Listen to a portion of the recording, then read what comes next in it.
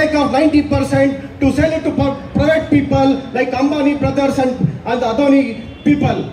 Because of your struggle only they are afraid. 2008 financial crisis, only because of bank employees it was stopped in this country. Otherwise, this, these people have sold this country people to the public, private public partnership. And I congratulate each and of one of you and I request my young comrades, this moment should continue forever. Otherwise, we will be on streets because the whole banking industry depends on the youngsters who are here. Because after three, four years, all these seniors will go away. This management is thinking, or IBA is thinking, or government is thinking. Once these seniors go out, there is nobody to take care of these people. I, from this forum, I appeal you, and I will again request you people, youngsters are the backbone of this banking industry of the Indian economy.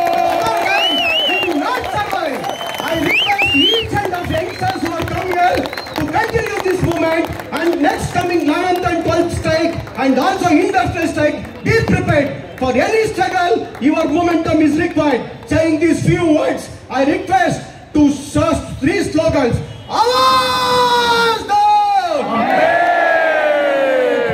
This lesser sound, you should come up. Awaz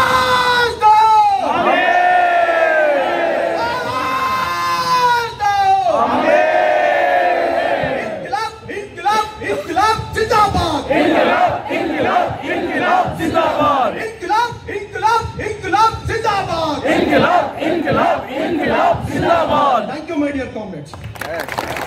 Thank you, Comrade Ravi.